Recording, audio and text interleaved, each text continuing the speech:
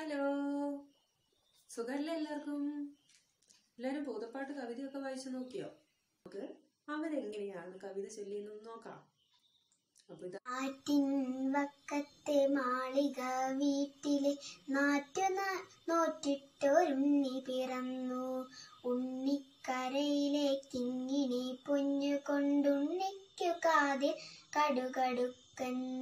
പാപ്പ കൊടുക്കുന്നു പാൽ കൊടുക്കിലെ നോറ്റുണ്ട് ഉണ്ണി പിറന്നു ഉണ്ണിക്കരയിലെ കിങ്ങിണി പൊന്നും കൊണ്ടുണ്ണിക്കുക.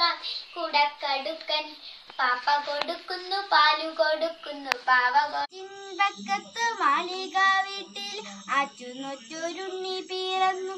ഉണ്ണിക്കരയിൽ കിങ്ങിണി പൊന്നു കൊണ്ടുണ്ണിക്കു കാതിൽ കുടക്കടുക്ക. മാമോ കൊടുക്കുന്നു പാലു കൊടുക്കുന്നു പാവ കൊടുക്കുന്നു നങ്ങേലി. കാച്ചിയ മോരൊഴിച്ചൊപ്പി തമ്പിലി മാമനെ കാട്ടിട്ട് പാലു മാനത്തമ്പിളി മാമനെ കാട്ടിട്ട് മാമു കൊടുക്കുന്നു നങ്ങേലി. താഴെ വച്ചാൽ ഉമ്പരിച്ചാലോ തലയിൽ വച്ചാൽ പെനരിച്ചാൽ. ഇടശ്ശേരി ഗോവിന്ദൻ നായരുടെ വളരെ മനോഹരമായ ഒരു കവിതയാണ് ഭൂതപ്പാട്ട് അല്ലേ? കഥ സാറ് പറഞ്ഞൊന്ന് ഓർക്കുന്നുണ്ടോ? എന്തായിരുന്നു കഥ? എല്ലാവർക്കും ഓർമ്മയുണ്ടാവൂലേ നമ്മുടെ ആറ്റിൻ പക്കത്തെ നങ്ങേലി അമ്മയ്ക്ക് കാത്ത് കാത്ത് കാത്ത് ഒരു കുഞ്ഞുണ്ണി ഉണ്ടായി എന്നിട്ടോ?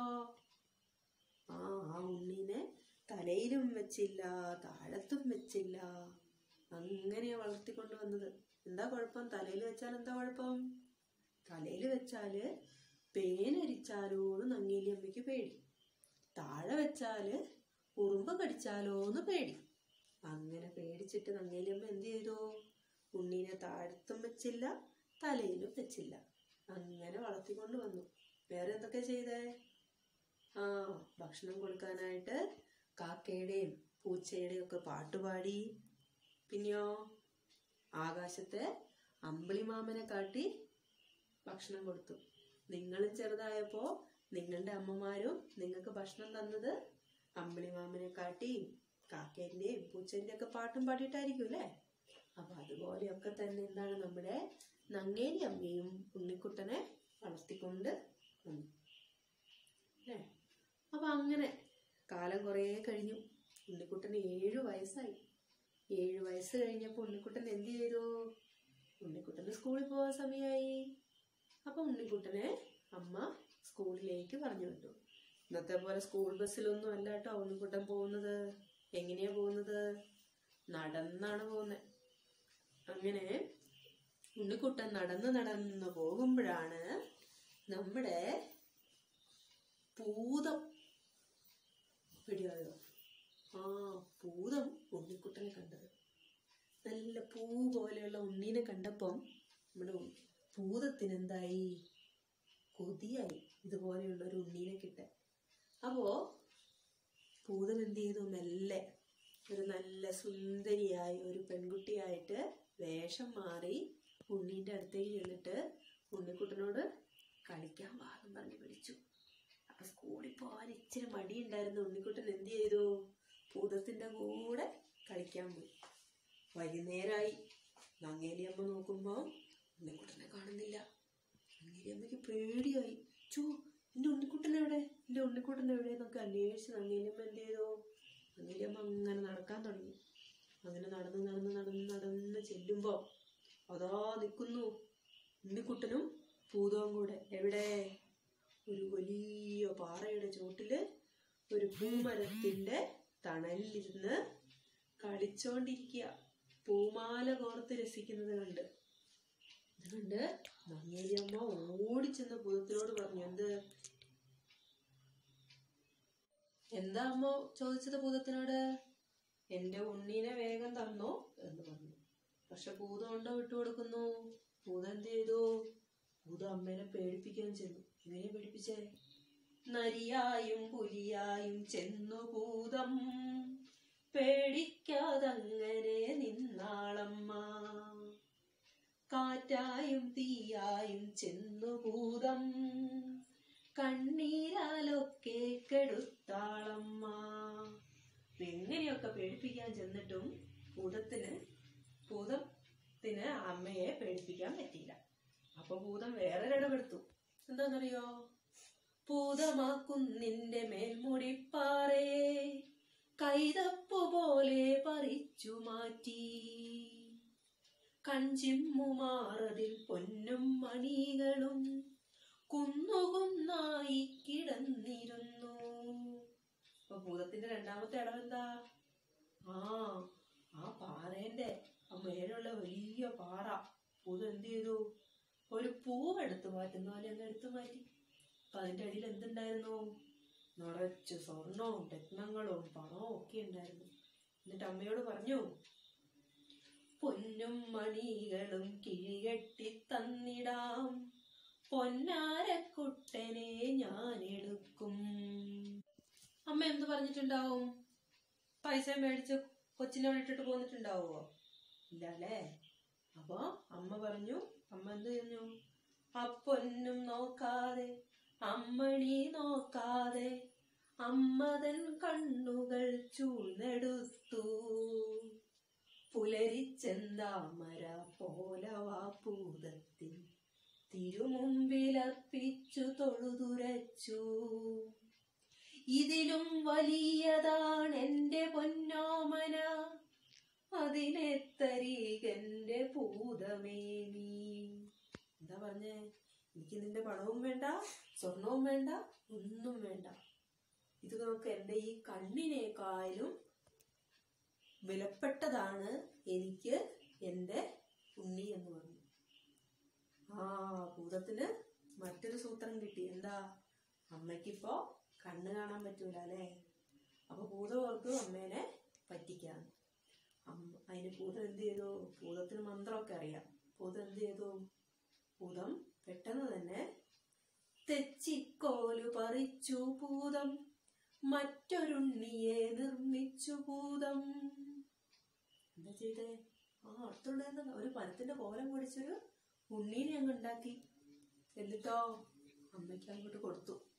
എന്റെ അമ്മയോട് പറഞ്ഞു ഇതാ നിന്റെ ഉണ്ണി നീ കൊണ്ടുപോക്കോ എന്ന് പറഞ്ഞു. അമ്മയ്ക്ക് സന്തോഷായി. അമ്മ വേഗം ഉണ്ണീനെ എന്ത് ചെയ്തു? കെട്ടിപ്പിടിച്ച് ഉമ്മയൊക്കെ കൊടുത്തു. കെട്ടിപ്പിടിച്ചപ്പോഴാണ് അമ്മയ്ക്ക് മനസ്സിലായത് കണ്ണു കാണാൻ പറ്റിയല്ലേ എന്നാലും കെട്ടിപ്പിടിച്ച് ഇങ്ങനെയൊക്കെ തപ്പിക്കഴിഞ്ഞപ്പം അമ്മയ്ക്ക് മനസ്സിലായി ഇത് അമ്മയുടെ ഉണ്ണിയല്ല. ഇത് ഭൂതം പറ്റിച്ചതാണ്. അമ്മയ്ക്ക് ദേഷ്യം വന്നു. എന്ത് പറഞ്ഞു? പെറ്റ വയറിനെ വഞ്ചിക്കുന്നൊരു പൊട്ടപ്പൂതം ഇതെന്നു കയർത്താൾ. കാതാപം കൊണ്ട് വിറയ്ക്കുന്നവൾ ഒരു ശാപത്തിനവൾ കൈകൾ ഉയർത്താൾ. ദേഷ്യം വന്നു. അമ്മ എന്ത് പറഞ്ഞു? നിന്നെ ഞാൻ ഇപ്പൊ ശപിക്കും പൊട്ടപ്പൂതമേ എന്ന് പറഞ്ഞു. അപ്പത്തേക്കും ഭൂതത്തിന് വിറയ്ക്കാൻ തുടങ്ങി. ഭൂതത്തിന് പേടിയായി. ഭൂതം പറഞ്ഞു അയ്യോ എന്നെ ഒന്നും ചെയ്യല്ലേ എന്നെ ഒന്നും ചെയ്യല്ലേ എന്ന് പറഞ്ഞ് ഭൂതം കരച്ചിലും തുടങ്ങി. അപ്പോഴേക്കും അമ്മയ്ക്ക് സങ്കടം തോന്നി. അമ്മ പറഞ്ഞു വേണ്ട നിന്നെ ഞാൻ ശപിക്കുകയൊന്നുമില്ല നീ പകരം എന്ത് ചെയ്തോ?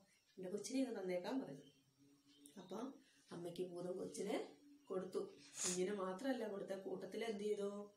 കാഴ്ചയും കൂടെ തിരിച്ചു കൊടുത്തു. അങ്ങനെ അമ്മയ്ക്ക് സന്തോഷമായി. അമ്മ കുഞ്ഞ് ഉണ്ണീനെ മേടിച്ച് പോകാൻ തുടങ്ങുന്ന സമയത്ത് ഭൂതം എന്ത് ചെയ്തു? ഉണ്ണീനെ കെട്ടിപ്പിടിച്ചിട്ട് ഉണ്ണീനോട് ടാറ്റയൊക്കെ പറഞ്ഞുകൊണ്ടിരിക്കുമായിരുന്നു അന്നേരം അമ്മ പറഞ്ഞു ഒരു കാര്യം ചെയ്യ. നിനക്ക് എന്റെ ഉണ്ണീനെ അത്രയ്ക്ക് ഇഷ്ടമാണെങ്കിൽ എല്ലാ വർഷവും മകരക്കൊയ്ത്ത് കഴിയുന്ന ഒരു സമയമില്ലേ?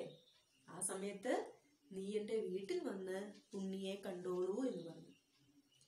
അപ്പോ ഭൂതത്തിന് ആശ്വാസമായി.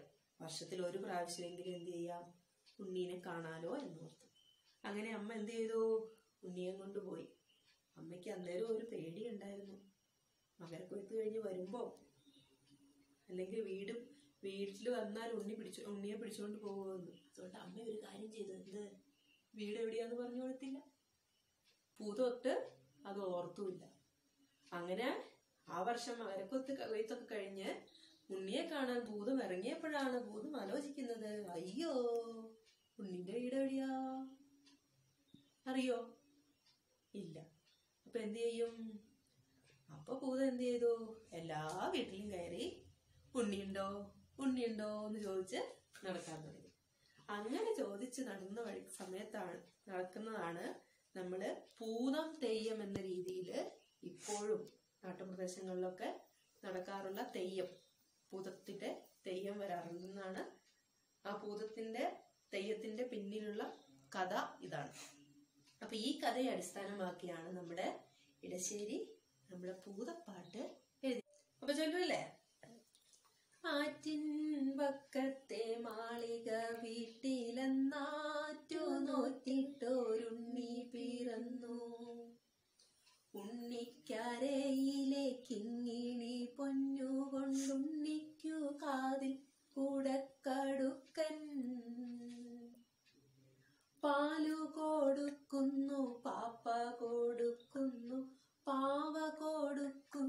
നങ്ങേലി കാക്കേ പൂച്ചേ പാട്ടുകൾ പാടിയിട്ട് മാനത്തമ്പിളി മാമനെ കാട്ടിട്ട് മാമു കൊടുക്കുന്നു നങ്ങേലി മാമു കൊടുക്കുന്നു നങ്ങേലി താഴെ വെച്ചാലുറുമ്പരിച്ചാലോ തലയിൽ വെച്ചാൽ പേനരിച്ചാലോ? തങ്കക്കൂടത്തിനെ താലോലം പാടിയിട്ട് തങ്ക കട്ടിലിൽ പട്ടു വീരിച്ചിട്ട് തണുതണെ പൂന്തുട തട്ടിയുറക്കിയിട്ട് ചാഞ്ഞു